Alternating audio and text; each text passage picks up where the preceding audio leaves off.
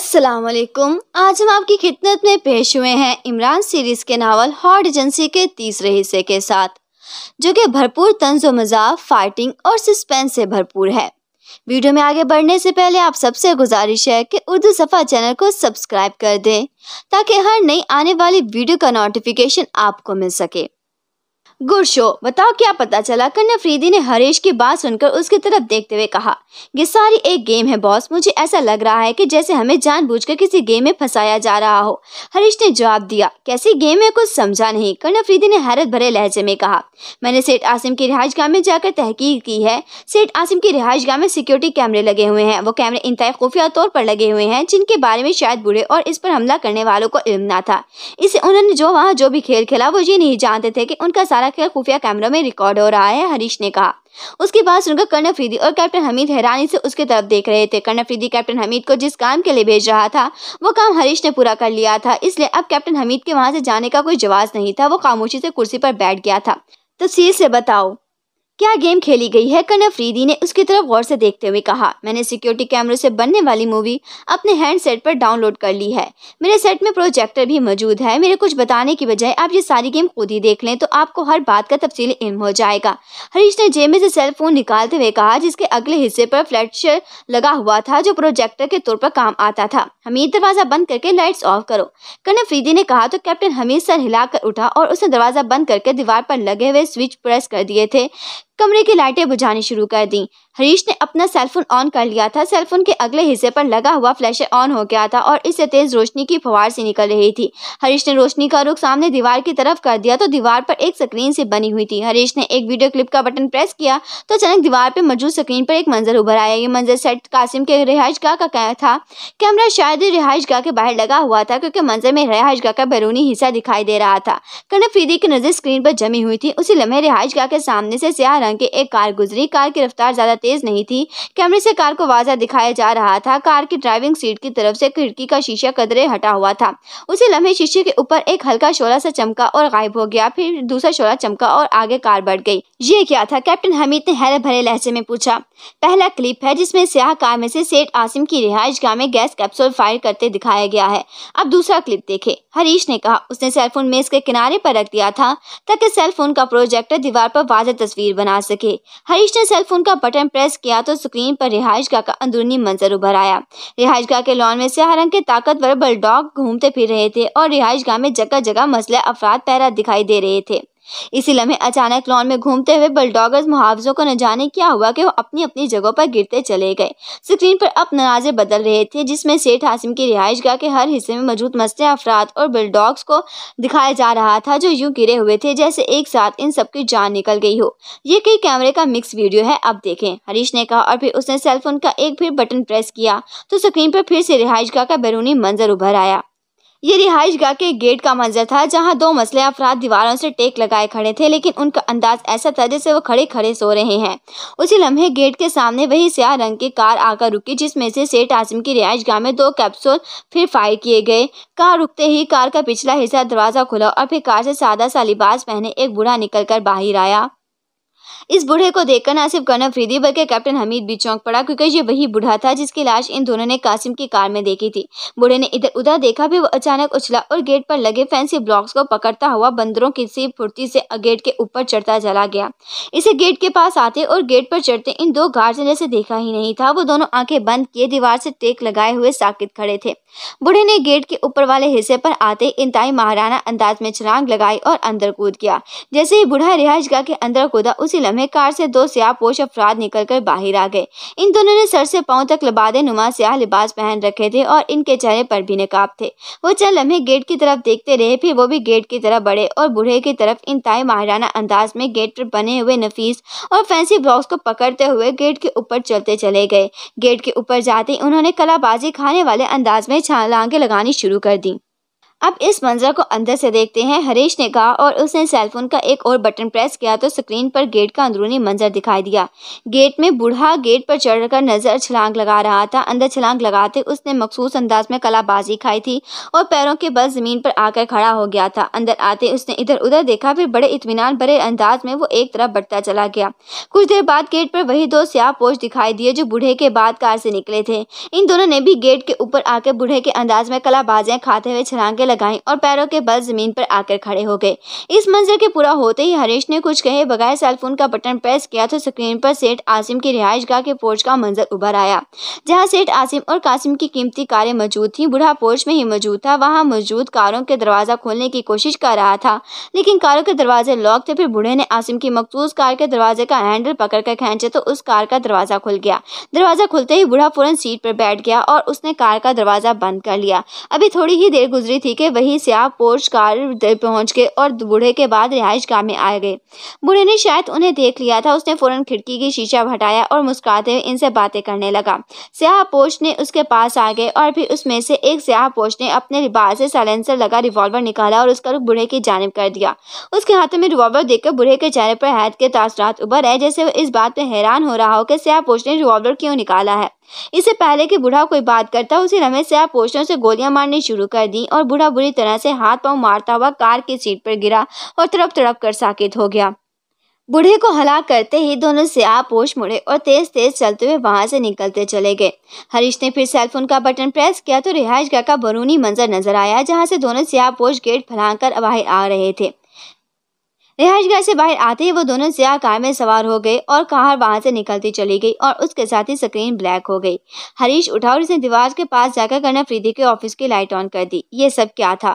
इन clip से तो ये पता चलता है कि बूढ़ा स्याह कार में स्याह पोषों के साथ ही आया था और वो सेठ आसिम की रिहाइश गाह में जाकर पोष में मौजूद कासिम की कार में छुप गया था। फिर इसी स्याह कार से दो स्याह पोष भी अंदर आए और उन्होंने अंदर जाकर बूढ़े को कासिम की कार में गोलियाँ मारकर हलाक कर दिया।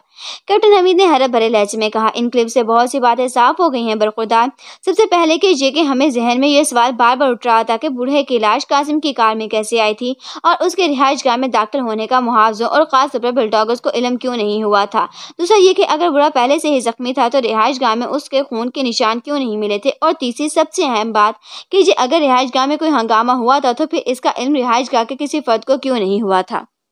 अब ये क्लिप्स देखकर पता लगा है कि रिहाइश गाह में गैस कैप्सूल फेंक कर सबको बेहोश कर दिया गया था। फिर सिया कार से बूढ़े को रिहाइश गाह के अंदर भेजा गया ताकि वो पोर्च में जाकर किसी कार में छुप जाए। बूढ़े के अंदर जाते ही सिया पोर्च निकले और वो भी पोर्च की तरफ़ बढ़ गए और उन्होंने जाते ही बूढ़े को कासिम की कार में गोलियाँ मार दी थी। तुमने शायद गौर नहीं किया सब सिया पोर्च ने सैलेंसर लगा रिवॉल्वर निकाला था तो बूढ़े के चेहरे पर शदीद हैत और खौफ उभर आया था। जैसे उसे यकीन ही ना आ रहा हो कि उसके साथ इस पर गन निकाल सकते हैं। सिया पोर्च ने बड़े इतमान से अपना काम किया और वहाँ से निकल। गए। पोषण ने बूढ़े को तलाश भी नहीं की थी। अगर इन मकसद का बूढ़े से कुछ हासिल करना होता तो वो अभी कुछ ना कुछ बूढ़े को हला करके इसकी तलाशी ज़रूर लेते। ये सब क्लिप्स देखकर ऐसा लग रहा है कि जैसे बूढ़े को किसी अंधी साजिश का शिकार बनाया गया हो और इसे चारे के तौर पर इस्तेमाल किया गया हो कर्ण अफरीदी ने कहा। यस बॉस, ऐसा ही हुआ है। मैंने सारे क्लिप्स देखकर इस कार पर तवज्जा दी थी जिस पर बूढ़ा और स्याह पोष आए थे। कार पर कोई नंबर प्लेट नहीं थी, लेकिन कार के बम्पर पर एक छोटा सा स्टिकर लगा हुआ था जो स्याह रंग के एक अकाब का था। मैंने जब बम्पर का क्लोज किया तो वो स्टिकर वाजह होकर अकाब के मुँह में एक सांप था, जिसके लिए वो जो हवा में उड़ता हुआ दिखाई दे रहा था। इस स्टिकर को देखते ही मैं चूंक पड़ा। मेरा ताल्लुक चूँकि अंडरवर्ल्ड से रह चुका है। इस इस निशान को देखते ही मुझे पता चला कि ये निशान अंडरवर्ल्ड के एक क्रॉसकर का है, जिसे ब्लैक क्रॉसकर कहा जाता है। गेम चूँकि हैरत अंगेज और उलझी हुई थी, इसलिए मैंने ब्लैक क्रॉसकर से मिलने का फैसला कर लिया। और फिर मैं रॉयल क्लब में पहुँच गया, जहाँ ब्लैक क्रॉसकर का ठिकाना था। ब्लैक क्रॉसकर मुझे हार्टमैन के नाम से जानता था, जिसका इस पर खासा रोप था। मैंने उसे मिलने के लिए पिगाम भेजा तो उसने मेरा नाम सुनकर फ़ौरन अपने बॉस पास बुला लिया। ब्लैक क्रॉसकर का ऑफ़िस साउंड प्रूफ था। वहाँ इसके दो मसला गुंडे भी थे। जब मैंने ब्लैक क्रॉसकर से कहा कि मैं इससे अलहदगी में बात करना चाहता हूँ तो उसने मेरी बात मानने से इनकार कर दिया। दोनों मसले अफराद को मेरे सिर पर खड़ा कर दिया, जिस पर मुझे गुस्सा आ गया मैंने इन दोनों को वहीं हलाक कर दिया। अपने साथियों को हलाक होते देखकर ब्लैक क्रॉसकर को बहुत गुस्सा उसने मेरा मुकाबला करने की कोशिश की, लेकिन लेकिन वो मेरे सामने ज़्यादा देर नहीं ठहर सका था। मैंने उसकी गर्दन दबोच दी और फिर जब मैंने उससे बूढ़े की हलाकत की बात की तो पहले तो उसने मुझे बताने से इनकार कर दिया। लेकिन जब मैंने उस पर मखसूस हरबे इस्तेमाल किए तो उसने ज़ुबान खोल दी। उसने बताया कि इस खास तौर पर बूढ़े को इस अंदाज में हलाक करने का हुक्म दिया गया था, जो चंद रोज़ पहले अक्रीमिया से उनके पास पहुँचा था। अक्रीमिया के एक रॉस्कल ग्रुप ने उस पर टॉस्क दिया था कि वो इस बूढ़े के साथ ऐसा रवैया रखे जैसे कि वो इसका दोस्त हो, फिर वो इस रॉस्कल ग्रुप के बताए हुए एड्रेस पर ले जाए और वहीं हलाक कर दे। ब्लैक रॉस्कर को सारे खेल की समझ नहीं आ रही थी, लेकिन जो कि इस काम के लिए इसे भारी मुआवजा दिया गया था, इसलिए उसने ऐसा ही किया था, जिसे उसे रॉस्कर ग्रुप ने करने के लिए कहा था। हरीश ने सारी तफसील बताते हुए कहा, बात कुछ समझ में नहीं आई। बूढ़े को एक क्रीम से ब्लैक रॉस्कर के पास भेजा गया था और उसे कहा गया था कि वो बूढ़े के साथ दोस्ताना रवैया रखे। और फिर रॉस्कर ग्रुप के कहने पर ब्लैक रॉस्कर के आदमी बूढ़े को कासिम की रिहाइश गाह पर ले गए और उन्हें वहाँ जाकर रिहाइश गाह के तमाम अफसर को गैस कैप्सूल से बेहोश किया और बूढ़े को रिहाइश गाह के अंदर जाने का कहा। जब बूढ़ा रिहाइश गाह के अंदर जाकर एक कार में छुप गया तो ब्लैक रॉस्कर के आदमी रिहाइश गाह में आए और उन्होंने बूढ़े को कासिम की कार में हिलाक कर दिया। इन्हें ये सब करने की क्या ज़रूरत थी? क्या रॉस्कर ग्रुप ये चाहता था कि बूढ़े को सेठ कासिम की रिहाइश गाह में हलाक किया जाए? कर्नल फ्रीदी ने हर भरे लहजे में कहा, ज़ाहिर तो ऐसा ही नज़र आता है। हो सकता है कि इस बूढ़े ने क्रीमा के रॉस्कर ग्रुप को नुकसान पहुँचाया हो या फिर वो इस बूढ़े को चारा बनाकर आसिम सेठ के खिलाफ इस्तेमाल करना चाहते हो, ताकि जब सेठ आसिम की रिहाइश गाह से बूढ़े की लाश दस्याब हो तो वह पुलिस और कोर्ट कचहरी के चक्रों में फंस कर रह जाए। अगर लाश सेठ आसिम की रिहाइश गाह से मिल जाती तो मीडिया भी सेठ आसिम को घेर लेता और सेठ आसिम का नाम हर तरफ़ उछलना शुरू हो जाता, हरीश ने कहा। तुम्हारा कहने का मतलब है कि बूढ़े माजूज को सेठ हासिम के फंसाने के लिए इस्तेमाल किया गया था, कैप्टन हमीद ने कहा। हाँ अब तक मुझे जो शवायद मिले हैं, इससे तो मुझे यही लगता है कि रॉस्कल ग्रुप ने सेठ हासिम को फंसाने के लिए ये सब कुछ कराया था। हरीश ने कहा, हूँ हूँ, अगर ये सब कुछ सोचा समझा ड्रामा है तो फिर माजूद से मिलने वाली वो तहरीर और हाफिज का नेगेटिव वो किस खाने में फिट होगा? कर्ण फ्रीदी ने होंठ चुबाते हुए कहा, तहरीर, नेगेटिव? हरीश ने चुनकर कहा, इसे चूँकि कर्नल फ्रीदी ने तहरीर और नेगेटिव के बारे में कुछ नहीं बताया था, इससे वो कर्नल फ्रीदी की बात सुनकर हैरान हो रहा था। कर्नल फ्रीदी ने अब उसे तहरीर और नेगेटिव के बारे में बताया तो वो और ज़्यादा हैरान हो गया। वाकई ये तो बड़ी हैरान कन बात है कि बूढ़े के पास आपके नाम की तहरीर और एक चाबी थी जिसे आपको एक लॉकर के बारे में बताया गया था। अगर अक्रीमा में रॉस्को ग्रुप का मकसद सेठ आसिम को किसी मामले में फंसाना ही था तो फिर बूढ़े के पास वो तहरीर और नेगेटिव कहाँ से आ गया? जो वो आपको देने के लिए लाया था, हरीश ने हैरान जदा होते हुए कहा। मैं भी समझ में नहीं आ रहा, ये मामला हर तरफ़ से टेढ़ा और अजीबो गरीब रुख इख्तियार करता जा रहा है। कर्नल फ्रीदी ने सर झटक कर कहा, आप इस नेगेटिव का पॉजिटिव बनवाने की कोशिश क्यों नहीं करते? हो सकता है कि अपने भाई याजूज और दूसरे नेगेटिव के बारे में बूढ़े ने डॉज देने के लिए ये बात कर दी हो, ताकि अगर तहरीर और नेगेटिव किसी और के हाथ लग जाए तो इसका फ़ायदा ना उठा सके कैप्टन हमीद ने कहा। गुड शो बाकी ऐसा हो सकता है और मैं इस तजब में हूँ कि एक नेगेटिव का तो पॉजिटिव बनाया जा सकता है, लेकिन दो नेगेटिव को मिलाकर इससे एक पॉजिटिव कैसे बनाया जा सकता है? Good show. तुमने वाकई जहान की बात किया कर्ण फ्रीदी ने उछलते हुए कहा कर्नल फ्रीदी के मुँह से अपनी तारीफ़ सुनकर कैप्टन हमीद का सीना फूलकर एक इंच चौड़ा हो गया था। आप वो नेगेटिव मुझे दे, मैं कोशिश करता हूँ कि किसी तरह इसे इसका पॉजिटिव बन जाए। हरीश ने कहा तो कर्नल फ्रीदी ने इस बात में सर हिलाकर जेब में हाथ डाला और नेगेटिव निकालकर हरीश को दे दिया। हरीश ने गौर से नेगेटिव देखा और फिर वो उठ खड़ा हुआ।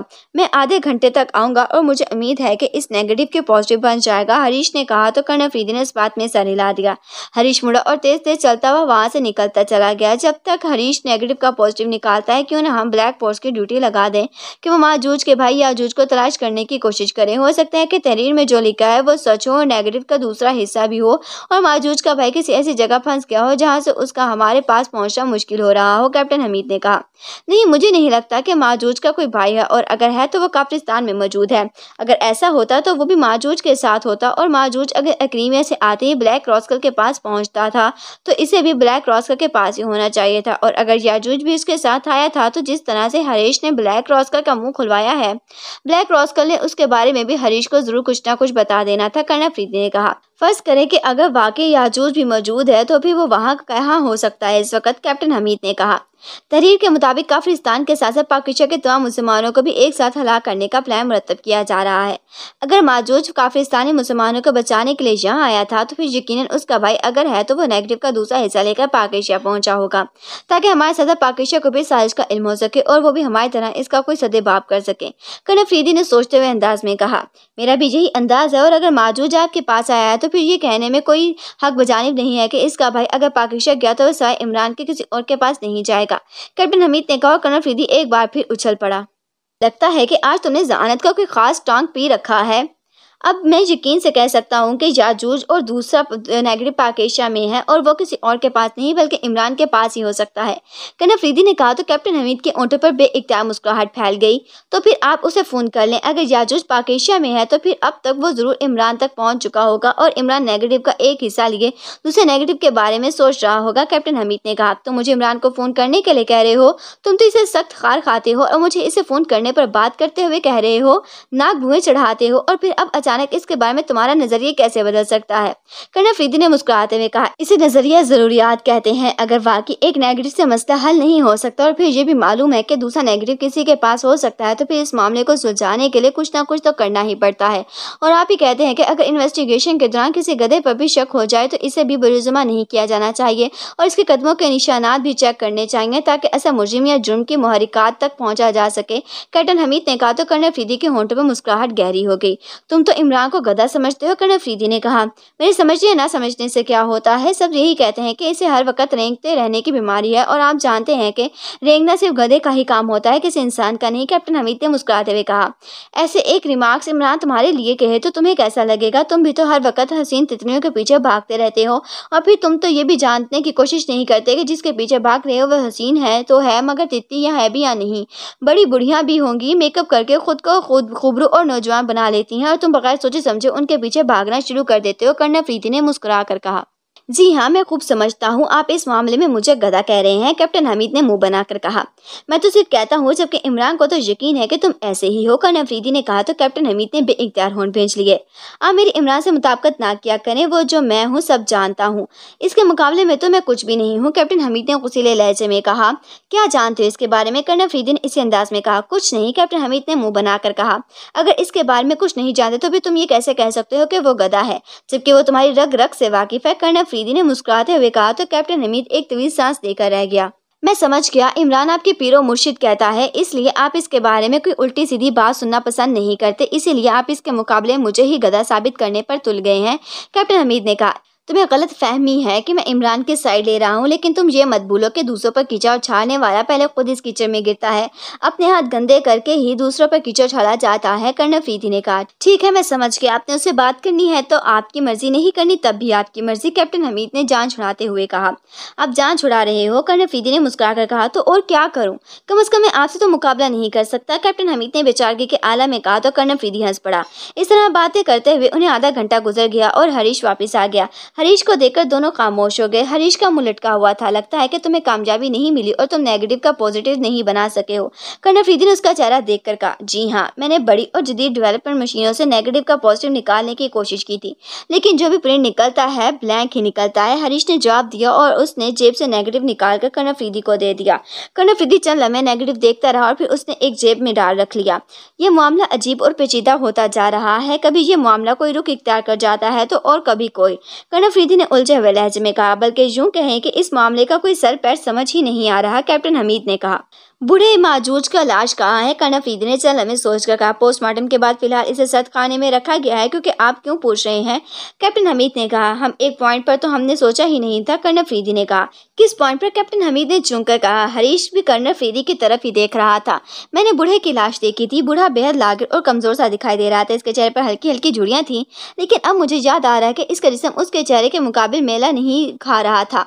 अगर चेहरे पर झुड़ियाँ हों तो उसका असर इंसान के बाकी जिसम पर भी होता है, बुढ़ापे से तो हाथों और पैरों को खाल पर भी जुड़ियाँ सी बन जाती हैं, या फिर खास सख्त और सुखड़ी हुई सी महसूस होती है। अगर ऐसा भी ना हो तो बुढ़ापे का असर जितना चेहरे पर होता है, उतना ही इंसानी हाथों और पैरों के नाखनों पर भी होता है, जवान इंसानों के मुकाबले में बूढ़ों के नाखून स्पॉट हो जाते हैं और अगर उनका रंग भी कदरे बदल जाता है। कर्नल फ्रीदी ने कहा, आप कहना क्या चाहते हैं? कैप्टन हमीद ने जैसे कर्नल फ्रीदी की बात ना समझते हुए कहा, बता तो रहा हूँ कि बूढ़े के चेहरे पर झुड़ियाँ थी, लेकिन इसके हाथों और पैरों की खाल पर ना झुड़ियाँ थी और ना ही उसके नाखून और बुढ़ापे की कोई अलामत दिखाई दे रही थी। दूसरे लफ्जों में, बूढ़े का चेहरा और था और जिसम और कर्ण प्रीति ने कहा। आप शायद ये कहना चाहते हैं कि माजूज बुढ़ा नहीं है और उसने बुढ़े का मेकअप कर रखा है। हरीश ने कहा तो कैप्टन हमीद चुंक पड़ा। मैं भी यही कहने वाला था, कैप्टन हमीद ने जल्दी से कहा। हाँ वो जिस खुफिया तरीके से यहाँ आया था, इससे तो वाजह हो रहा है कि वो अपनी असल नाम और असल चेहरे से यहाँ नहीं आया था। जिस तरह उसका नाम नकली है, इसी तरह उसका चेहरा भी नकली है। कर्ण अफरीदी ने कहा, नकली चेहरा? वाह, क्या खूब नाम है। कैप्टन हमीद ने कहा, लेकिन कर्ण अफरीदी ने उसकी तरफ़ कोई तवज्जो न दी। हरीश, तुम एक और काम करो। कर्ण अफरीदी ने गहरी सोच में डूबते हुए अंदाज में कहा, आप शायद इस बूढ़े के चेहरे के पीछे छुपे हुए इसी चेहरे को देखना चाहते हैं, हरीश ने कहा। जैसे वो कर्ण अफरीदी की हर बात भाम जाने की सहायत रखता हो। हाँ अब मैं एक यही रास्ता है। अगर इस बूढ़े का असली चेहरा सामने आ जाए तो शायद इस सारी गेम का पता चल सके कर्ण अफरीदी ने कहा, ठीक है, मैं स्पेशल एस एस कैमरा ले जाता हूँ जाकर बूढ़े की तस्वीर उतार लाता हूँ। अगर वो मेकअप में हुआ तो एस एस कैमरे में उसका असल चेहरा सामने आ जाएगा। हरीश ने कहा तो करण फीदी ने इस बात में सर हिला दिया और हरीश उठ खड़ा हुआ और वहाँ से निकलता चला गया। इमरान से बात करने के बारे में क्या सोचा है आपने? कैप्टन हमीद ने हरीश के जाने के बाद करण फीदी से मुखातिब होकर पूछा, बूढ़े की इस तस्वीर सामने आ लेने दो, फिर हम इमरान से मिलने पाकेशा जाएँगे? करण फीदी ने कहा, कैप्टन हमीद ज़ोर से चल पड़ा। पाकेशा एक नेगेटिव के बारे में पूछने के लिए आप इसे मिले पाकेशा जाने का सोच रहे हैं। कैप्टन हमीद ने कहा हाँ दूसरा नेगेटिव अगर वाकई उसके पास है तो फिर हमें मिलकर ही इस नेगेटिव का पॉजिटिव बनाना होगा, ताकि असल हकैक सामने हमारे आ सके, कर्ण फ्रीदी ने कहा। कम अज कम इसे फ़ोन करके ये तो पूछने के नेगेटिव उसके पास है भी या नहीं। ऐसा ना हो कि हम सफ़र करके इसके पास पहुँचे और पता चले कि वो ना किसी याजूज को जानता है और ना ही जैसा कोई नेगेटिव मिला है, जिससे पाकिस्तान काफरिस्तान के मुसलमानों को हलाक करने का राज बना है। कैप्टन हमीद ने कहा, मैंने इससे फ़ोन पर बात की तो वो आए बाएँ शाएँ करना शुरू कर देगा। इससे बेहतर है कि इससे मिलकर इससे दो टोक बात की जाए। अगर इसके पास नेगेटिव हुआ तो वो मेरे नेगेटिव से मिलाकर इसका पॉजिटिव बनाने से इनकार नहीं कर सकेगा। कन्या फीदी ने कहा तो कैप्टन हमीद ने इस बात में सर हिला दिया। ट्रांसमीटर की सीटी की आवाज़ सुनकर एक कंटेनर में बने हुए ऑफ़िस में बैठी जैकलिन पे एक तार चुंग पड़ी। उसके सामने मेज पर जदीद सात का लॉन्ग रेंज ट्रांसमीटर रखा हुआ था। जैकलिन के हाथ बढ़ाकर ट्रांसमीटर उठाया और उसने एक बटन प्रेस करके उसे ऑन कर लिया था। Hello hello headquarter calling hello over दूसरी तरफ़ से मुसलसल कॉल आते हुए कहा जा रहा था yes Jacqueline attending this end over headquarter का सुनकर जैकुलिन ने फ़ौरन मौतबाना लहजे तैयार करते हुए कहा कोड ओवर दूसरी तरफ़ से पूछा गया R C three over Jacqueline ने कहा आर सी इसके मुराद कोबरा, रेड कोबरा और थ्री इसका रेड कोबरा एजेंसी का नंबर था। ओके आर सी वन से बात करो, ओवर और आवाज़ सुनाई दी और फिर चंद लम्हों के बाद ट्रांसमीटर में खामोशी छा गई। R C one speaking over, चंद लम्हों के बाद दूसरी जानब से कर्नल ब्राउन की सख्त आवाज़ सुनाई दी। ये सिर्फ़ आर सी थ्री जैकुलिन बोल रही हूँ, ओवर, कर्नल ब्राउन की आवाज़ सुनकर जैकुलिन ने बड़े मौतबाना लहजे में कहा। जजीरा हवान पहुँच कर क्या तुमने तमाम सेटअप चेक कर लिया है? ओवर, कर्नल ब्राउन ने उसी अंदाज में कहा।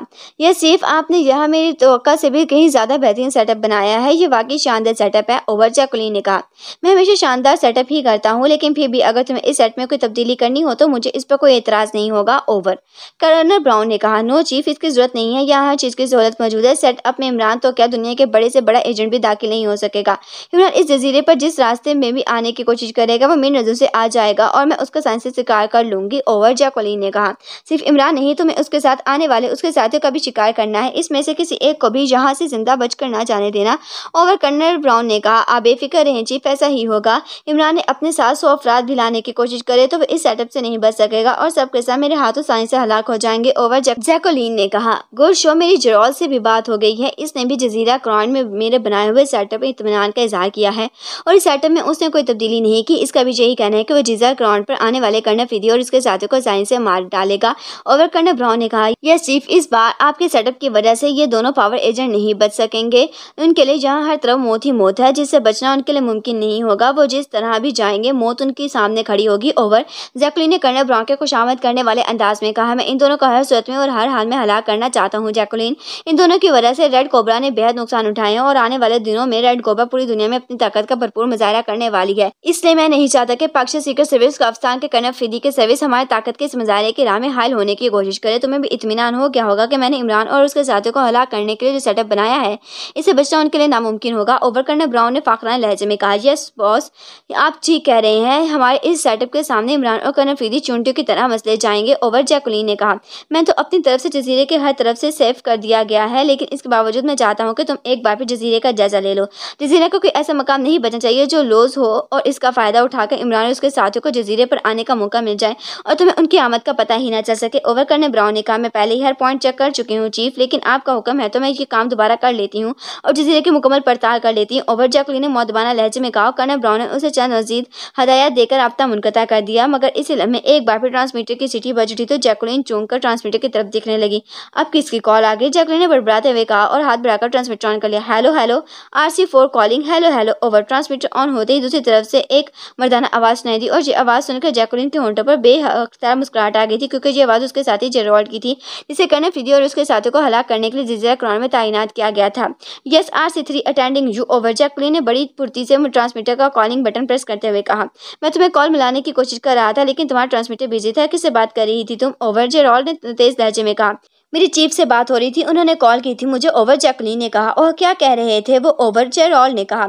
वही जो उन्होंने तुम्हें कॉल करके कहा था, वो जजीरा हवान में अपने बनाए हुए सेटअप के बारे में पूछ रहे थे और कह रहे थे कि मैं जजीरे की चेकिंग कर लूँ ताकि जजीरे पर कोई ऐसा पॉइंट ना रह जाए, जो कि लूज हो, जिसका फ़ायदा उठाकर इमरान उसके साथ ही जजीरे पर आ जाए और मुझे उसका इल्म ही ना हो सके ओवर जैकुली ने कहा ओह हाँ चीफ ने कॉल करके मुझे भी ऐसे हिदायत दी थी, फिर कर ली थी, तुमने चेकिंग मुकम्मल ओवर जरौल ने कहा नहीं।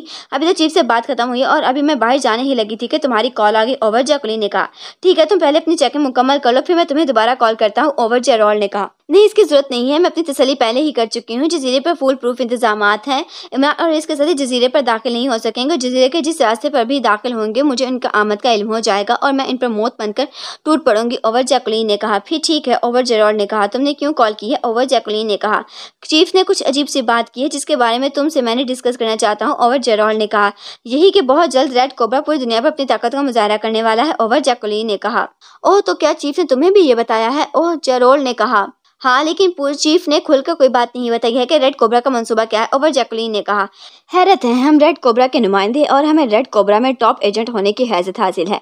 फिर चीफ ने हमें इस मनसूबे से लाइम क्यों रखा हुआ है? और ऐसा कौन सा मनसूबा है जिसे यहूदी कौम दफाई हैसियत इख्तियार करने वाली है? ओवर जरोर ने कहा, मुझे नहीं मालूम, लेकिन मेरा अंदाज़ा है कि इस इतफाई अमल को पाकिस्तान का अली इमरान और का करना फीदी सबूतन करने की कोशिश कर रहे हैं, इसलिए उन्हें इस मनसूबे से दूर रखने के लिए चीफ ने इसे इकदाम किए हैं कि करना फीदी और इमरान उलझे रहे और वे इस बात के लिए मजबूर हो जाए कि वो अपने मुल्कों से निकलकर इन जजायर की तरफ़ दौड़ते चले आए, जहाँ इनके लिए मौत का इंतज़ार कर रही हैं, ओवर जैकुलिन ने कहा। हाँ ये चीफ ने मुझे भी बताया है, लेकिन मुझे इस बात पर उलझा हुआ हूँ कि इस मंसूबे से हम दोनों को क्यों लाइन रखा गया है? ओवर, चलो ने अपनी बात दोहराते हुए कहा, शायद इसलिए कि हम अमली तौर पर इस मंसूबे के हिस्से में रहेंगे। और ओवर चकुली ने कहा, अमली तौर पर क्या मतलब? जब हमें रेड कोबरा के मनसूबे का इल्म ही नहीं है तो हम ऐसे अमल मुकम्मल तौर पर इस कैसे हासिल कर सकते हैं? ओवर जरोर ने हैरत भरे लहजे में कहा, अली इमरान कनफरीदी इंतहाई तरबियत याफ्ता और मंजे हुए हैं, और वह इस मनसूबे को सबूत करने के लिए कुछ भी कर सकते हैं। इसे चीफ ने हमें इन्हें लाने के लिए एक अहम मनसूबा बनाया और इस मनसूबे के तहत वो रेड कोबरा का मेन मनसूबा न सिर्फ़ बचा रहे हैं, बल्कि इसे छुपा भी रहा है। हो सकता है कि चीफ के जहन में ये बात हो कि इमरान मुश्तक और करना फ्री तक तुम पहुँचने में कामयाब हो जाएगा। इसलिए वो हमें इस मनसूबे से लाइम रखा हुआ है ताकि अली इमरान मुझसे और करना फ्री तुमसे इस मनसूबे के बारे में कुछ मालूम न कर सके और चूँकि हमें रेड कोबरा के मनसूबे के तहफ़ देने के लिए आगे लाया गया है और इस लिहाज से हम अमली तौर पर ही इस मनसूबे का हिस्सा है। ओवर जैकुली ने कहा हाँ इस मुनासिब से तुम सही कह रही हो, ओवर। जरोल ने कहा यह पहला वाक़ है कि हम दोनों को अलग अलग टास्क दिए गए हैं, वरना रेड कोबरा का हर टास्क हम दोनों ने मिलकर ही पूरा किया है, चाहे वह क्रीमिया हो और इसराइल के मफादात के लिए हो या गैर मुल्की ताकतों के खिलाफ ओवर जैकलिन ने कहा। ओके फिर तुम अपना काम करो और मैं अपना काम करता हूँ। हमारी ये दूरी आज ही है, जैसे ही हम अपना अपना टास्क पूरा करेंगे, हम फिर एक हो जाएँगे ओवर जेरोल ने कहा। ठीक है, और कोई बात करनी है तो बता दो, वरना मैं ट्रांसमीटर ऑफ़ कर रही हूँ ओवर जैकलिन ने कहा। नहीं, और कोई बात नहीं है। ओवर जेरॉल ने कहा ओके फिर मैं अपना ख्याल रखना, और अगर किसी मशरे की ज़रूरत हो तो मुझे कॉल कर लेना ओवर जैकुलीन ने कहा। ज़रूर, क्यों नहीं? तुम्हें भी अगर मेरी ज़रूरत पड़े तो तुम मुझे कॉल कर सकती हो ओवर जेरॉल ने कहा, और जैकुलीन ने ओके और ओवर एंड ऑल कहकर रबता मुनकता कर दिया। और फिर वो एक तवील सांस लेकर कुर्सी के पुर से टेक लगाकर बैठ गई।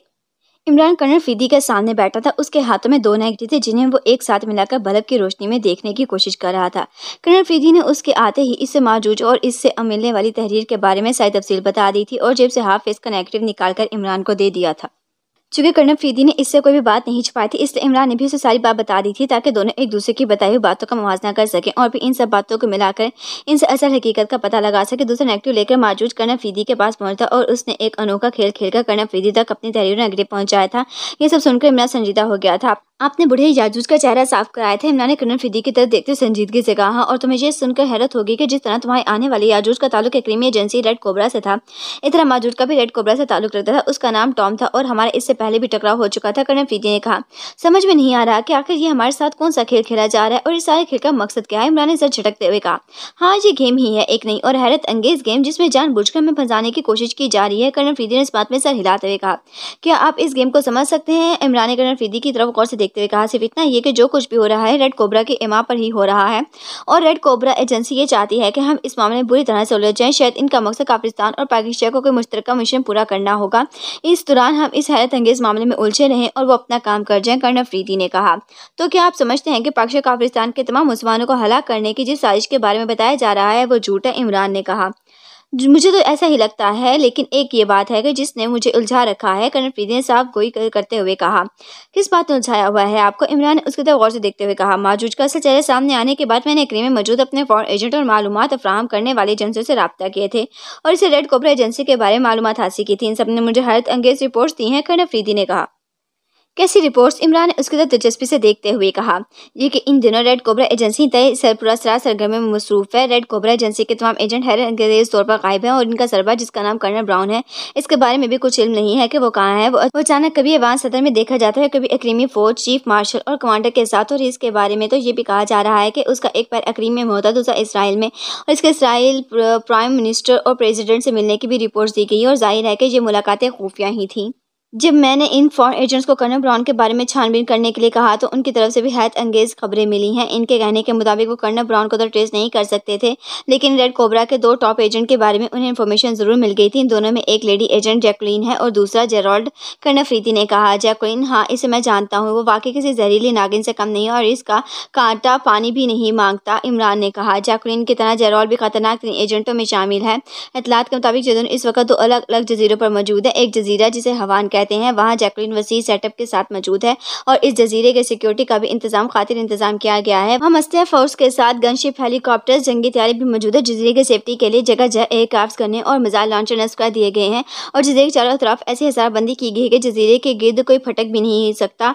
इस तरह तमाम समुद्री जहाज़ों को भी आने से रोक दिया गया है। सुना है कि जजीरे के चारों तरफ़ ऐसी बरकी वायर्स लगा दी गई हैं कि जो जजीरे के एक बहरी मील के फासले तक फैली हुई हैं, बरकी वायर्स के हिसार में आने वाला जहाज़ लॉन्च मोटर बोट किसी तौर पे महफूज नहीं रह सकते। अगर किसी तेरह का लिबास पहनकर भी इस तरफ़ जाने की कोशिश की जाए तो समुद्र के इस हिस्से में मौजूद पर की रोका शिकार हो जाएगा और इसके अलावा जजीरे के चारों तरफ़ एक एक लम्हा नज़र रखी जाती है। यूँ लगता है कि जैसे इस जजीरे पर कोई अहम काम सर अंजाम दिया जा रहा हो, जिसकी हिफाजत के लिए इस कदर फोल प्रूफ सिक्योरिटी की गई है। इस तरह इस जजीरे से दस बहरी मीलों के फासले पर एक और जजीरा है, जिसे जजीरा क्रांट कहा जाता है। इस जजीरे की सिक्योरिटी भी जजीरा हवान से मुख्तफ नहीं है। हवान जजीरे पर लेडी एजेंट जैकलिन का होल्ड है और ये जजीरा क्रांट पर इसके साथ ही जेरोल्ड का। अब ये नहीं मालूम कर सका है कि इन दो जजायर पर क्या हो रहा है और इन जजायर को इस कुदरत सिक्योरिटी के हिसाब में क्यों रखा गया है, कर्नल प्रीति ने कहा। और वाकई हैत अंगेज बातें हैं। दो जजायर जिस पर रेड कोबरा एजेंसी का कब्जा है और इन्होंने दोनों जजायर की सिक्योरिटी इस कदर हार्ड बना रखी है कि वहाँ एक परिंदा भी पढ़ नहीं मार सकता तो ज़ाहिर है कि वहाँ के ऐसा काम हो रहा है जिसकी बात के लिए ये सब इंतज़ाम किए गए हैं, इमरान ने कहा। हाँ इन्हीं सरगर्मी की वजह से मैं उलझ गया था कि मेरे साथ जो खेल खेला गया है, अब वो सिर्फ़ फेक है। तो फिर इन दो डिज़ायर पर क्या हो रहा है? जिसे दुनिया की नज़र से बचाने की कोशिश की जा रही है।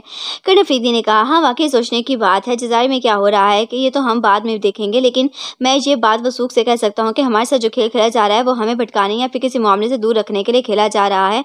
या फिर इमरान कहते कहते रुक गया, क्या? या फिर करण अफरीदी ने चुनकर कहा, या फिर ये भी तो मुमकिन है कि रोड कोबरा के इन दो एजेंटों को वाकई रेड कोबरा के इंसान के खिलाफ होने वाले साजिश का इलम हो गया हो और इनका जमीर जा गया और उन्होंने इंसान के लिए ही सही रेड खोबरा के मुसलकश मनसूबे से हमें आगाह करने के लिए यह सब किया हो, इमरान ने कहा।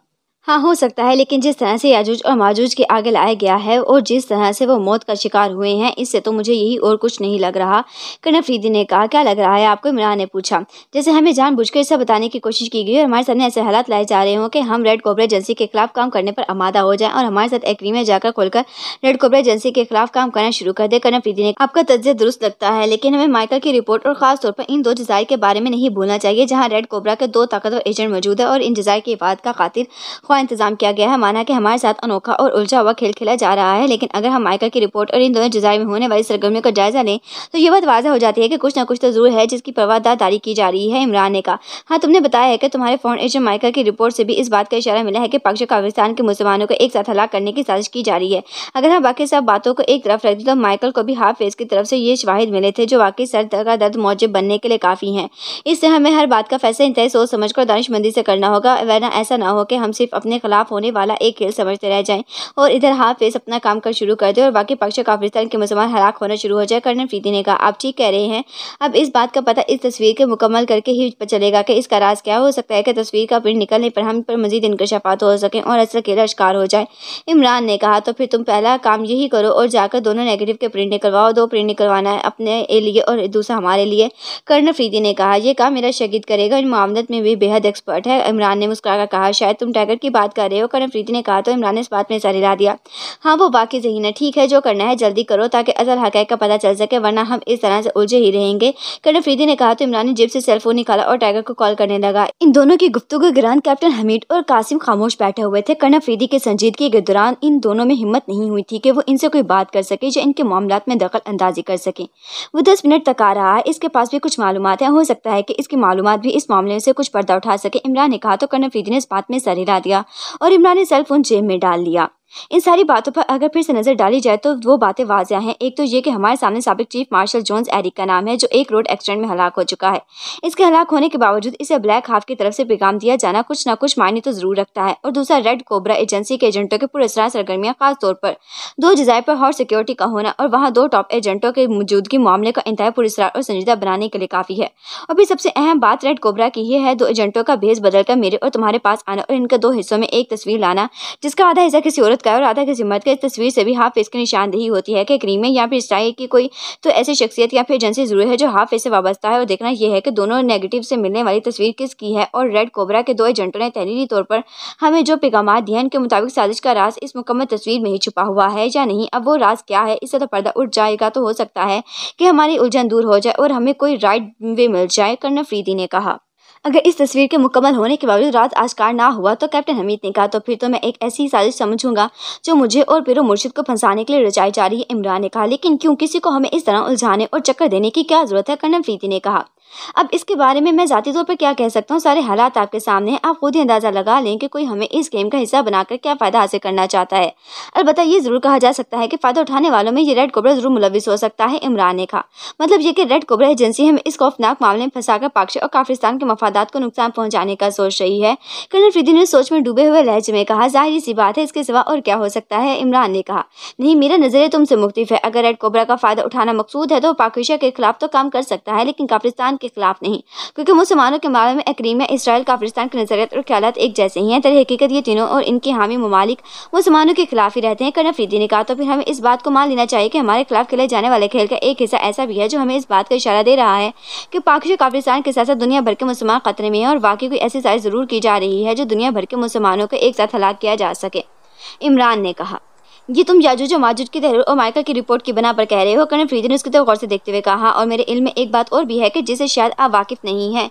इमरान ने कहा, क्या कर्नल फ्रीदी ने चुंक कर कहा, जिस तरह से आपने क्रीम में अपने एजेंटों से तहकीकात कराई है, इसी तरह चीफ ने भी फॉरन एजेंट के मुतहरिक किया है। इनमें से एक एजेंट ने जोन्स एरिक की रिहाइश गाह में तेज़ी से अपनी जगह बनाई है थी, और इसने ये मालूम कर लिया है कि जोन्स एरिक जिसकी हिलाकत की खबर फैलाई गई है, वो हलाक नहीं हुआ है, बल्कि वो ज़िंदा और सबसे दिलचस्प बात यह है कि वो अपनी रिहाइश गाह में अपने नाम और अपने ऐसे चेहरे से नहीं रह रहा है। इसका एक भाई था जो खासे में हलाक हो गया था, उसकी हलाकत की खबर छुपाकर उसके लाश जो जोन सैरी का मेकअप करके दफनाया गया था और जोन सैरी के बाद चूँकि इसकी तमाम प्रॉपर्टी का मालिक इसका भाई ही था, इसे जोन सैरी को सिर्फ़ अपने भाई का मेकअप और इसका नाम ही इख्तियार करना पड़ा था।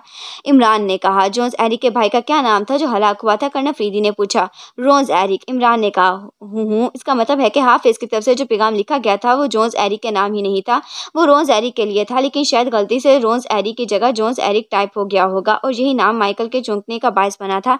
कर्नल फ्रीदी ने कहा, बिल्कुल, ऐसा ही हुआ था। जोन्स एरिक के नाम ने ही माइकल के चुकने पर मजबूर किया था। इमरान ने कहा भी उनकी बातें हो रही थी कि कॉल बेल बज उठी और वो दोनों खामोश हो गए। लगता है टाइगर आया इमरान ने कहा, सुलेमान, दरवाज़ा खोलने के लिए चला गया था। कुछ ही देर में टाइगर भी वहाँ आ गया। उसने इमरान और कर्नल फ्रीदी को देखकर उन्हें सलाम किया।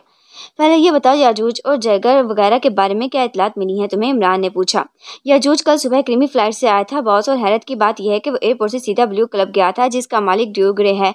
ड्यूग्रे क्रीमियन है और आपको ये जानकर हैरत होगी कि जैगर ड्यूग्रे का ही राइट हैंड है। मैंने क्लब में जाकर मालूम हासिल की तो ये सुनकर मुझे बेहद हैरत हुई कि जैगर और याजूज एक साथ ही क्लब से निकले थे और भी इन्हें के मकाम पर एक साथ ही देखा गया था। मेरे पास चूँकि ड्यू ग्रे का ऑप्शन था, इसलिए मैंने ड्यू ग्रे से जब याजूज के बारे में बात करनी चाहिए तो उसने मुझसे बात करने से इनकार कर दिया। जिससे मुझे उसे आड़े हाथों लेना पड़ा और जब मैंने उसका मुँह खुलवाया तो इसे पता चला कि याजूज का असल नाम फ्रांको है और इसी ने इसे कैप्टन शकील का पता बताकर वहाँ भेजा था। और इसके पीछे जैगर उसके दो साथियों को भी लगाया गया था। जैगर ने ड्यूग्रे के हुक्म से ही फ्रांको को म्यांगी जहर वाली सुई मारी थी ताकि वो हलाक तो हो जाए। लेकिन हलाक होने से पहले वो एक खास काम कर दे जिसके एक्रीमिया के रेड कोबरा एजेंसी से उसे भेजा गया था टाइगर ने कहा। और इसका खास काम कैप्टन शकील तक को नेगेटिव और तहरीर पहुंचाना था। इमरान उसके गौर से देखते हुए कहा, यस, बॉस। ड्यूग्रे ने नेगेटिव और तहरीर का तो नहीं बताया था, लेकिन इसने ये ज़रूर बताया था कि बूढ़े के पास एक सील लिफाफा है, जिसे पक्ष सीक्रेट सर्विस के किसी मेंबर या भी इसके तक पहुंचाना था। और इतफाक से ड्यूग्रे के पास कैप्टन शकील का एड्रेस मौजूद था और इसने बूढ़े को इसकी तरफ़ भेज दिया था टाइगर ने कहा, हूँ क्या ड्यूग्रे ने बताया था कि उसने ये सब क्यों किया इमरान ने जबड़े फेंचते हुए कहा, इसके लिए इसे रेड कोबरा ने हायर किया था और इसे छोटे से काम के लिए उसके अकाउंट में जो के भारी मुआवजा मुंतकिल किया गया था, इसलिए वो भला इस काम से कैसे इनकार कर सकता था? टाइगर ने कहा।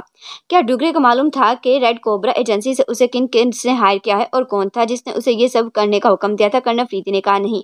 आपके कहने के मुताबिक इसके लिए रेड कोबरा एजेंसी का नाम ही काफ़ी था। उसने कहा था कि अगर रेड कोबरा एजेंसी उसे हुक्म देती तो वो इसके लिए ये काम बगैर किसी मुआवजे पर भी कर सकता था। इनकार की सूरत में रेड कोबरा एजेंसी उसका हर्ष कर सकती थी टाइगर ने कहा।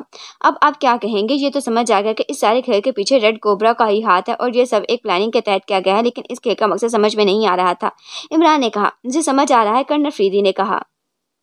ओ तो मुझे भी बताएँ ताकि मेरी नाके समझ में भी कुछ आ सके। इमरान ने दो बातें मुमकिन हो सकती हैं। एक तो ये कि रेड कोबरा एजेंसी हमें इस मामले में चैलेंज कर रही है कि वो ये सब कुछ करने वाले अगर हमें हिम्मत है तो हम उसे आकर रोक लें।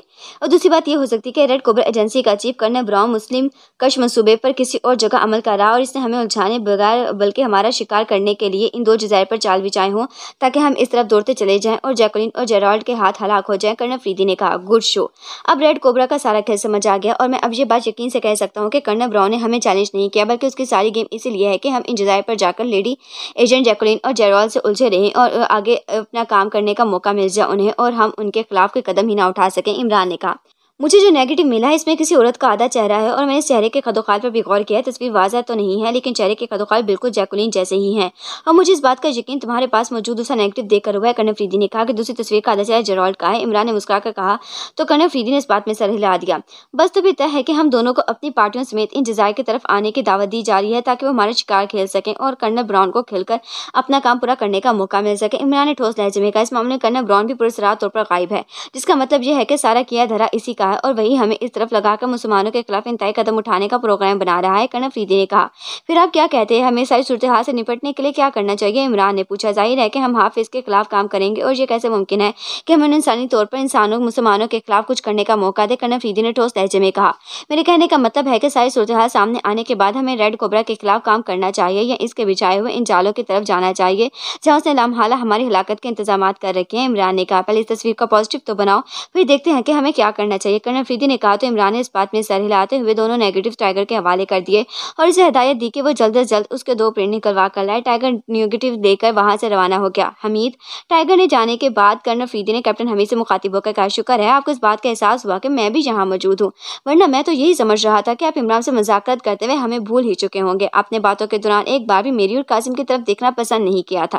कैप्टन हमीद ने एक तवील सांस देते हुए कहा, हम अहम संजीदा मामले पर डिस्कस हो रही थी बरखुदार। इसमें तुम्हारा खामोश रहना ही मुनासिब था, कर्नल फीदी ने कहा। फिर मुर्शिद के साथ इज़्ज़त माप जानाब कलंदरी, मलंदरी कप्तान हमीद साहिब तशरीफ़ लाए हैं, जहे नसीब जहे नसीब।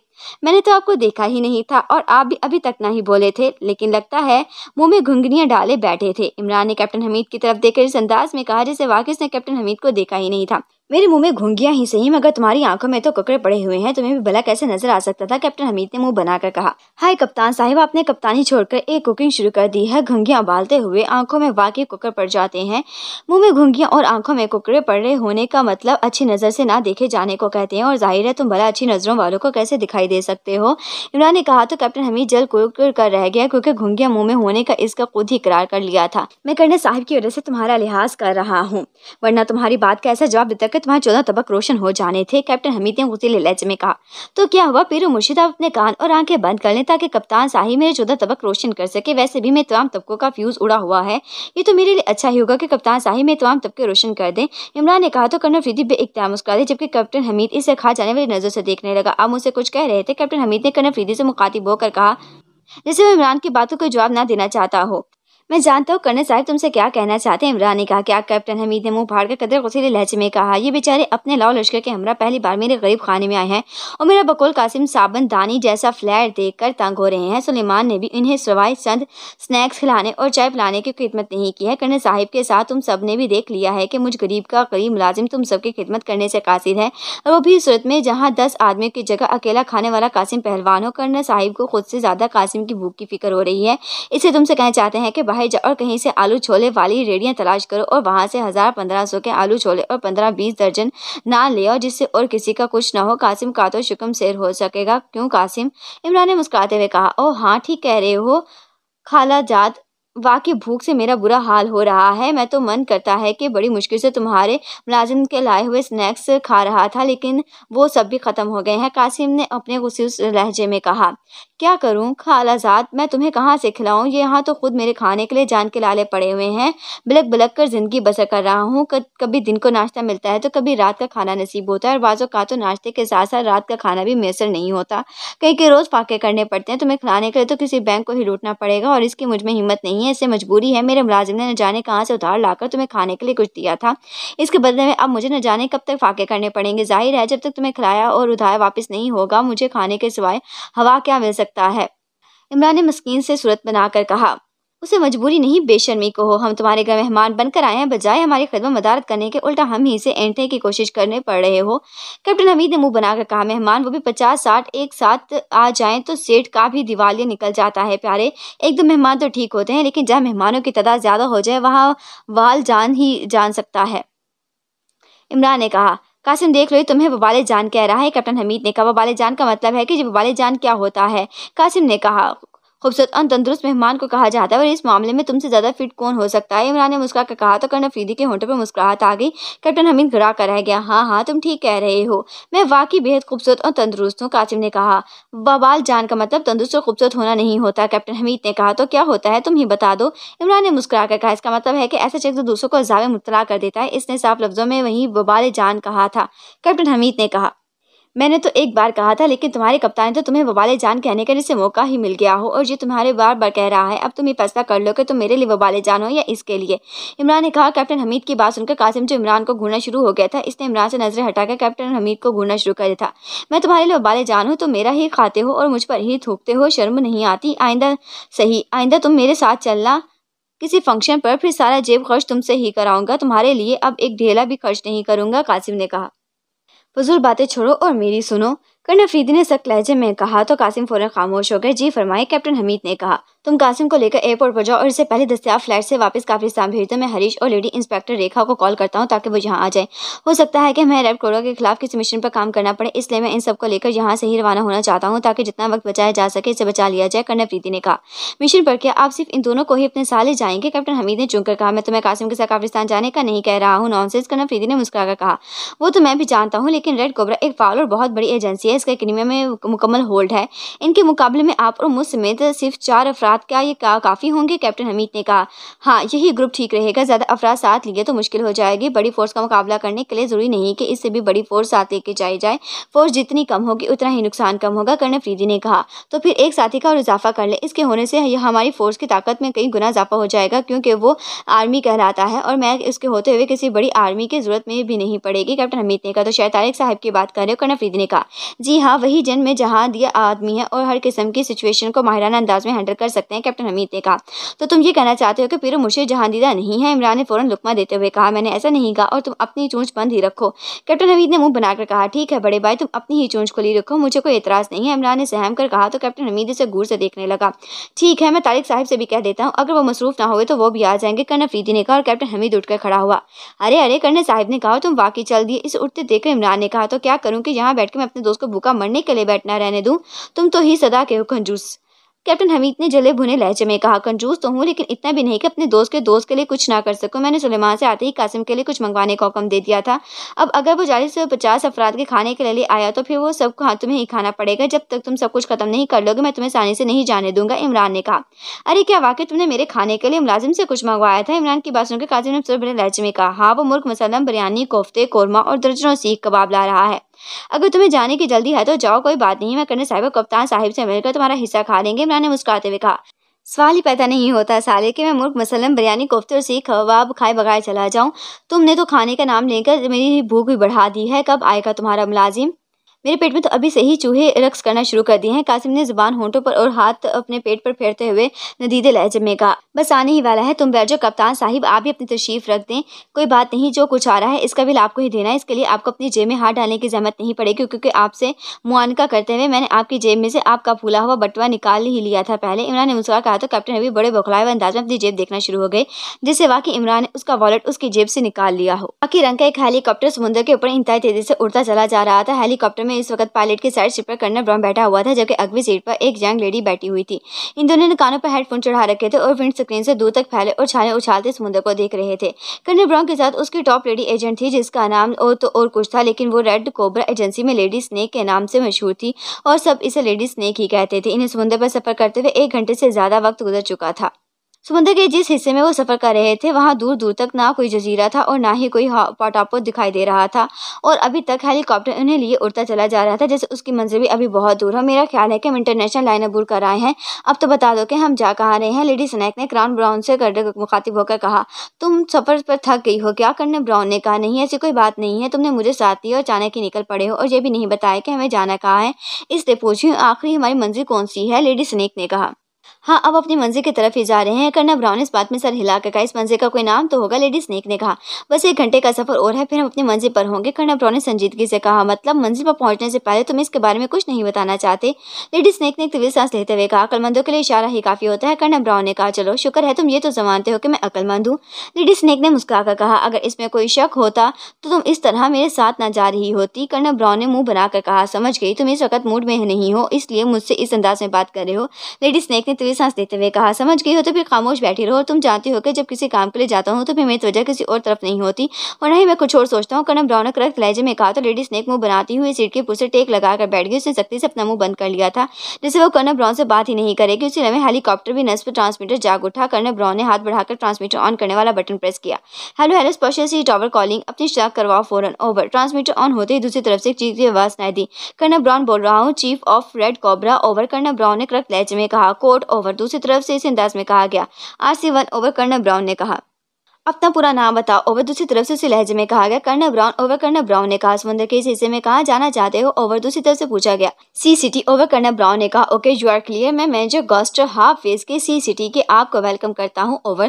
दूसरी तरफ़ से इस बार बड़े मोतबाना लहजे में कहा गया। ओके मेरे लिए तुम्हारे तुम्हारे स्पार्स क्लियर करो ताकि मैं सी सिटी पहुँच सकूँ। ओवर करना ब्राउन एक रख लहजे में कहा। यस सर आप फ़िक्र न करें। अभी सारे रास्ते क्लियर करा देता हूँ। सी सिटी में दाखिल होने में आपको कोई प्रॉब्लम नहीं होगी। ओवर मैनेजर गॉस्टर ने कहा। ओके मैं एक घंटे तक सी सिटी पहुँच जाऊँगा। ओवर एंड और करना ब्राउन ने कहा। और फिर उसने रब्ता मुनकता कर दिया। ये सी सिटी क्या है? तुमने इसका पहले तो कभी ज़िक्र नहीं किया। लेडी स्नेक जो खामोशी से ट्रांसमीटर पर होने वाली बातें सुन रही थी, ने हैरत भरे लहजे में कहा। वहाँ जाकर खुद ही अपनी आँखों से देख लेना। करना ब्राउन ने रुखे लहजे में कहा। ओके लेडी स्नेक ने तेज सांस लेकर कहा। और एक बार फिर खामोश होकर बैठ गई।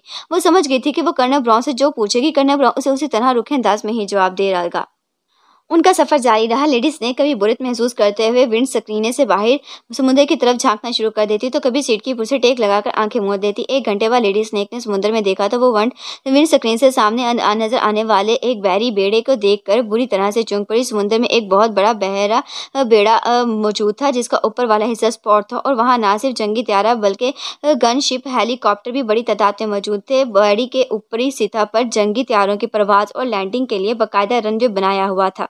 और इसके बड़े बड़े और ऊँचे ऊँचे मस्तूलों पर डिश एंटीना भी लगे हुए डिश एंटीना भी बड़ी तादाद में थे, जिनके रुख मुख्तलिफ़ सिमतों की तरफ़ दिखाई दे रहे थे और इनमें चंद एले भी मौजूद थे, जो बाकायदा मूव करते हुए दिखाई दे रहे थे। बेरे के दाएँ हिस्से में चंद कैबल्स भी बने हुए थे, जबकि बेरे के सेंटर में एक काफ़ी बड़ा और ऊँचा टावर बना हुआ था। ये टावर एयरपोर्ट्स के इन टावर जैसा था, जहाँ से त्यारों की आमद और रवानगी पर नज़र रखने के साथ साथ आने जाने वाले त्यारों में इंस्ट्रक्शंस दी जाती थी। बेड़े पर सफ़ेद रंग के लिबास पहने बेशुमार अफराद घूमते फिर रहे थे और इन सबके लिबासों पर सीने और कमर पर स्याह रंग का मास्क का आधा हिस्सा बना हुआ था, जिसके नीचे एच एफ़ लिखा हुआ साफ़ दिखाई दे रहा था। बेड़े के साइड पर बड़े हरूफ में से सिटी लिखा हुआ था, जो यकीन इस बहरी बेड़े का नाम था। बहरी बेड़े की लंबाई चौड़ाई कितनी गुना मीटर थी और वहाँ का माहौल देखकर वाकई ऐसा लग रहा था जैसे इस बेड़े में वाकई एक अलग शहर ही बसा हुआ हो। शहर भी इतना बड़ा जिसमें हर चीज़ समो दी गई हो। हेलीकॉप्टर आहिस्ता आहिस्ता हेलीपैड की तरफ़ बढ़ता जा रहा था और फिर हेलीपैड के ऊपर आकर आहिस्ता आहिस्ता नीचे उतरता शुरू हो गया। हेलीकॉप्टर को नीचे आते देखकर चंद अफराद दौड़ते हुए इस तरफ़ आ गए। जैसे हेलीकॉप्टर उतरा करने ब्राउन ने कानों से हेडफोन्स उतारकर सामने हक पर रख दिया और हेलीकॉप्टर का दरवाज़ा खुलकर उछलकर बाहर आ गया। उस लेडी ने को भी इशारा किया तो वो भी हेलीकॉप्टर का दरवाज़ा दरवाज़ा खोलकर बाहर आ गई। कर्नल ब्राउन रुका हुआ था, जैसे ही लेडी स्नेक बाहर आई, उसने उसे साथ लिया और सामने खड़े अफराद की तरफ़ बढ़ा, जो शायद उनके इस्तकबाल के लिए आए थे। कर्नल ब्राउन को अपनी तरफ़ बढ़ते देखकर इन अफराद की एड़ियाँ बज उठी और उन्होंने कर्नल ब्राउन को सल्यूट करना शुरू कर दिया। हेलो सर, मैं हाफिज की सी सिटी का security in charge manager Goster हूँ। मैं आपको सी सिटी से वेलकम करता हूँ।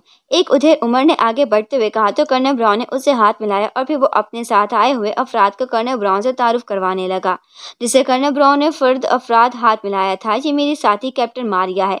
रेड कोबरा ने ये लेडी स्नैक के नाम से मशहूर है कर्नल ब्राउन ने उनका लेडी स्नैक से मुतारफ करवाते हुए कहा, खुशी हुई आपसे मिलकर। आपका बहुत नाम सुना है मैनेजर गॉस्टर ने लेडी स्नैक से हाथ मिलाते हुए कहा, उस लम्हे कर्नल ब्राउन की जेब में मौजूद ट्रांसमीटर की सीटी की आवाज़ उभरी तो वो बेख्तियार चूंक पड़ा। एक मिनट में अभी आता हूँ। कर्नल ब्राउन ने कहा तो उस सबने उस बात में सर हिला दिया और कर्ण ब्राउन जेब से जदीद साग का लॉन्ग रेंज ट्रांसमीटर निकालता हुआ साइड में चला गया, जहाँ कोई मौजूद नहीं था। उसने साइड में जाकर ट्रांसमीटर ऑन कर लिया। Hello hello, Red Cobra calling from special Red Cobra headquarter. Over transmitter on होते ही दूसरी तरफ़ से रेड कोबरा की फनकारती हुई आवाज़ सुनाई दी और रेड कोबरा की आवाज़ सुनकर कर्नल ब्राउन जकलक मुस्तैद हो गया। Yes grand master colonel Brown attending you over. Colonel Brown ने ट्रांसमीटर का बटन प्रेस करते हुए इंतहा मौदबाना लहजे में कहा, क्या तुम सी सिटी पहुँच गए हो? ओवर रेड कोबरा ने इसी अंदाज में कहा, यस ग्राउंड मास्टर मैं इस वक्त सी सिटी में ही मौजूद हूँ, और कर्नल ब्राउन ने कहा। मुझे मालूम हुआ है कि तुम सी सिटी में लेडी एजेंट लेडी स्नेक को भी साथ ले आए हो। ओवर रेड कोबरा ने कहा, यस, ग्रांड मास्टर, मैं लेडी स्नेक को अपने साथ लाया हूँ। ओवर कर्नल ब्राउन ने जवाब दिया, क्यों? मुझे इसकी वजह बताओ। मैंने तुम्हें सख्ती से हदायत दी थी कि सी सिटी के बारे में तुम एजेंसी के किसी भी एजेंट को नहीं बताओगे। फिर तुम मेरी इजाज़त के बगैर लेडी स्नेक को यहाँ क्यों लाए हो? बोलो। ओवर रेड कोबरा ने चीखती हुई आवाज़ में कहा, ग्रांड मास्टर, मैं लेडी स्नेक को सी सिटी की हिफाजत के लिए लाया हूँ। ओवर कर्नल ब्राउन ने एतमाद भरे लहज में कहा, हिफाजत के लिए? क्या मतलब? कैसी सिटी में हिफाजती इंतज़ाम की कमी थी? ओवर रेड कोबरा ने इस तरह इंतहा खुशीले लहजे में कहा, no grand master Sea City पर हिफाजत के फुल प्रूफ इंतज़ाम हैं, लेकिन यहाँ का इंचार्ज मेजर गोस्टर है और मेजर गोस्टर मेरे नज़दीक काबिल एतबार और जिम्मेदार इंचार्ज नहीं है। इसे मैंने इसे हटाने और इसकी जगह सिक्योरिटी इंचार्ज लेडी स्नेक को बनाने का फैसला किया है, ओवर कर्नल ब्राउन ने कहा। तुम कैसे कह सकते हो कि मैनेजर गस्टर गैर जिम्मेदार और नाकाबिल एतबार है? ओवर रेड कोबरा ने फंकारते हुए कहा। उसके बारे में मुझे सी सिटी से रिपोर्ट्स मिली थी, जहाँ मौजूद अफराद का कहना है कि मेजर गॉस्टर बेशतर वक्त शराब के नशे में धुत रहता है। और ज़्यादातर अपने कैबिन में बड़ा आराम करता रहता है और इसकी तफरी के लिए कैबिन में हर वक्त कोई ना कोई लड़की ज़रूर मौजूद होती है। इसके अलावा मुझे सी सिटी के स्पेशल सेक्शन के इंचार्ज प्रोफेसर मेकॉर्ट ने भी बताया था कि नशे में धुत मेजर गॉस्टर वहाँ पहुँच जाता है और वहाँ मौजूद लेडी वर्कर्स को भी परेशान करता है और सबसे अहम बात है कि मेजर गॉस्टर आए दिन स्पेशल हेलीकॉप्टर लेकर क्रीम में चला जाता है। और कई कई दिन लौट कर नहीं आता, वो शराब पीने और जुआ खेलने का आदि है। एक क्रीमे के दारुल हुकूमत जाकर वो यही सब करता है और उसे अक्सर क्लबों और बारों में भी देखा जाता है। और मुझे आज ही ये रिपोर्ट मिली थी कि उसने शराब के नशे में धूत होकर भी ये कहा है कि वो सिटी से आया है लेकिन चूँकि वो नशे में धुत था इसलिए लोगों ने इसकी बातों पर ज़्यादा दिलचस्पी नहीं ली। मुझे जब इन बातों सब का इल्म हुआ तो मैंने पूरी तौर पर मैनेजर गास्टर को बरतरफ करने का सोच लिया।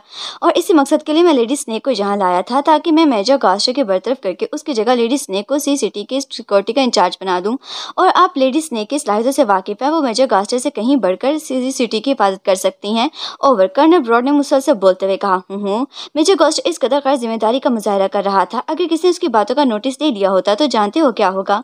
ओवर, रेड कोबरा ने गुस्से से चीखते हुए कहा, यस मास्टर, जानता हूँ। हमने सी सिटी और ब्लैक फेस का राज किसी दुनिया से सारी दुनिया छुपा रखा है। मेजर गोस्टर रेड कोबरा का जहीन और इंतहा मंझा हुआ एजेंट है। उसने रेड कोबरा के मफादात के लिए बहुत कुछ किया है, लेकिन अब न जाने उसे क्या हो गया है। आप इजाज़त दे तो मैं इससे बात करता हूँ कर्ण ब्राउन ने कहा। नहीं, जब इसके बारे में इतना सब कुछ पता चल चुका है तो इससे बात करने की कोई ज़रूरत नहीं है। इसे फ़ौरन गोली मार दो और इसकी लाश समुद्र में फेंक दो। ऐसे लोगों को रेड कोबरा में कोई जगह नहीं है, ओवर रेड कोबरा ने फंकारते हुए लहजे में कहा। यस ग्रांड मास्टर जैसे आपका हुक्म है, ओवर कर्नल गॉस्टर ने मतलब लहजे में कहा। इमरान और कर्नल रफरीदी के लिए क्या किया है तुमने? ओवर रेड कोबरा ने कहा। मैंने उनकी हलाकत के तमाम इंतज़ाम मुकम्मल कर लिए हैं ग्रांड मास्टर वो अब किसी भी सूरत में नहीं बच सकेंगे, ओवर कर्नल ब्राउन ने कहा। गुस्से क्या किया है तुमने उनकी हलाकत का इंतज़ाम, तफसील से बताओ, ओवर रेड कोबरा ने कहा। मैंने उन दोनों की इस तफ्तीश का रुख पलट दिया है। ग्रांड मास्टर जो वो हाफ़ फेस के लिए करते फिर रहे थे। उसके लिए मुझे तभी प्लानिंग करनी पड़ी थी, लेकिन मैं अपने इस मकसद में कामयाब हो गया हूँ कि इमरान कर्नल फ्रीदी जैसे जहीन एजेंटों को इस बात का यकीन दिलाने में कामयाब हो गया हूँ कि हाफ़ फेस का सेटअप जानने के लिए इन्हें बहरुल क्यानूस के दो जजायर की तरफ़ जाना पड़ेगा चूँकि इनके पास तस्वीरी शक्ल में जो नेगेटिव पहुँचे थे। इनमें से सिटी का कोई ज़िक्र मौजूद नहीं था। इसलिए मैंने इन दोनों के साथ एक गेम की और इनके कानों तक ये बात पहुँचा दी कि पक्ष काफरिस्तान के मुसलमानों के लिए साजिश की जा रही है। इसका तल्लुक बहरुल कैनूस के दो जजायर में से है, जिसमें से एक जजीरा, कुरान और दूसरा जजीरा हवान। मुझे माचूँ के मालूम था कि इमरान और कर्नल फ्रीदी हाफ़ इसका राज जानने के लिए इन जजायर की तरफ़ दौड़े चले जाएँगे। इसलिए मैंने फौरी तौर पर रेड कोबरा के दो ताकतवर एजेंटों को इन जजायर पर भेज दिया था, ताकि वो इन जजायर पर नकली सेटअप बना सकें और जिसमें कर्नल फ्रीदी और इमरान उलझ जाएँ और जब वो इन जजायर पर आए तो रेड कोबरा के एजेंट मौत बनकर इन पर टूट पड़े और इन्हें वहीं हला करके दफन कर दे। ओवर ग्राउंड मास्टर ने सच और झूठ का मिला जुला राबत मिलाते हुए रेड कोबरा को कर्नल फ्रीदी और इमरान की हलाकत के बारे में तफसीर देते हुए बताया। हूँ क्या तुम्हें यकीन है कि वो दोनों तुम्हारी गेम में आ जाएँगे और इन जजायर पर जाने के लिए मजबूर हो जाएँगे। रेड कोबरा ने फंकारते हुए कहा ये ग्रांड मास्टर मैंने उनके साथ खेली ऐसा खेला है कि जो इन जजाय की तरफ़ जाए बगैर ना रह सकेंगे। गेम चूँकि पचीदा और तवील है, इसलिए मैं आपको तफसील नहीं बता सकता, वरना आपका वक्त ज़ाया होगा, लेकिन मैं आपको यकीन दिलाता हूँ कि इमरान कनर फ्रीदी तक हाफ़ इसका रास पहुँचने के बावजूद असर राज नहीं पहुँचा है। इन्हें इस बात का कभी इलम नहीं है कि हाफ़ इसका सेटअप सी सिटी में से है, जहाँ से काफिस्तान पक्ष में पूरी दुनिया के मुसलमानों को एक साथ हलाक किया जा सकता है ओवर कर्नल ब्राउन ने कहा। गुरशु मुझे तुम्हारी जानत पर यकीन है, तुम जो भी प्रोग्राम बनाते हो, वो सॉलिड भी होता है और मुफीद भी ओवर रेड कोबरा ने कहा। Yes grand master thank you over colonel Brown ने जेल मुस्कुराते हुए कहा और दिल ही दिल में हंस रहा था कि उसने इमरान कर्नल फ्रीदी की मौत के जाल में फंसाने के लिए इन दोनों को ही नहीं, बल्कि रेड कोबरा को भी अहमक बनाया था और असल राज के हक इमरान और कर्नल फ्रीदी तक पहुँचा दिए थे ताकि वो मजबूर होकर मौत के जजीरों पर पहुँच अब तो मेजर गौशर को हलाक करो और इसकी जगह लेडी स्नेक की तैनात करो, जो अब इमरान और कर्नल फ्रीदी की हलाकत की कोई खबर मिले तो इससे मुझे भी आगाह करना ओवर रेड कोबरा ने कहा, यस ग्रैंड मास्टर, आप फ़िक्र न करें, इमरान और कर्नल फ्रीदी की हलाकतों की खबर सबसे पहले मैं आपको ही दूँगा। ओवर कर्नल ब्राउन ने इस अंदाज में कहा गुरशो अब तुम अपना काम करो ओवर एंड और रेड कोबरा ने कहा और रब्ता मुनकता कर दिया। रब्ता मुनकता होते ही कर्नल ब्राउन ने एक तवील सांस लिया ट्रांसमीटर ऑफ़ करके जेब में डाला और फिर वो मुड़कर उस तरह बढ़ता चला गया जिस तरह लेडी स्नेक और मेजर गॉस्टर था। किसी की कॉल थी लेडी स्नेक ने इसे अपनी तरफ़ देख कर कहा ग्राउंड मास्टर के सभा में किससे बात कर सकता हूँ? कर्नल गॉस्टर ने कहा क्या कहा ग्राउंड मास्टर ने? मेजर गॉस्टर ने कर्नल ब्राउन की जानब इश्तियाक भरी नज़र से देखते हुए कहा कुछ नहीं मेजर गॉस्टर कर्नल ब्राउन ने पहली ले, लेडी स्नेक और फिर मेजर गॉस्टर से मुखातिब होकर कहा यस मेजर गॉस्टर ने मुझसे अंदाज में कहा। सुपर माइक ला के दो, मुझे डेक पे रहकर तमाम सी सिटी के रेड कोबरा का एक पैगाम देना चाहता हूँ। कर्नल ब्राउन ने कहा यह मैं अभी मंगवाता हूँ। मैंने गोस्टर ने कहा और फिर उसने अपने साथ खड़े एक शख्स से आयतगी से कुछ कहा तो वो सुबह सर हिलाकर तेज़ी से एक तरफ़ भागता चला गया। कुछ देर बाद वो वापस आया तो उसके हाथ में एक जदीद कार्डलेस माइक था। इसने माइक लाकर मेजर गोस्टर को दे तो मेजर गोस्टर ने बड़े अदब से माइक कर्नल ब्राउन की तरफ़ बढ़ा दिया। कर्नल ब्राउन ने माइक लेकर इस पर लगा हुआ एक बटन प्रेस किया तो माइक का निचला हिस्सा रोशन हो गया, जिसका मतलब था कि माइक इन हो गया है। और इसका लिंक सी सिटी के हर हिस्से में मौजूद स्पीकर से हो चुका है। लेडीज़ एंड जेंटलमैन मैं रेड कोबरा एजेंसी का चीफ कर्नल ब्राउन आपसे मुखातिब हूँ। कर्नल ब्राउन ने माइक अपने मुँह के करीब करते हुए इंतई करक लहजे में कहा तो उसकी आवाज़ बहरी बेड़े के हर हिस्से में गूंजना शुरू हो गई थी और इसकी आवाज़ सुनकर न सिर्फ़ डेक पर मौजूद अफराद, बल्कि बेड़े के हर हिस्से में मौजूद अफराद भी इसकी तरफ़ मतवजा हो गए।